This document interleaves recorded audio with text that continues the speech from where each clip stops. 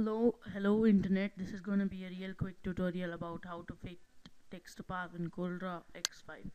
So go ahead and draw your circle, square, whatever you want to. Take a text tool, come close to it, and you can see it changes to something like that. And type whatever you want, then like that. Corel Draw select the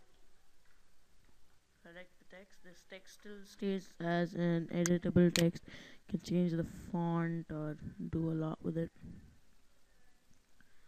Let's make that increase the size. No that'll be too big. Hmm. yeah there we go. So like yeah that's basically it hmm? hope you enjoyed this real quick tutorial. Thank you and have a nice day.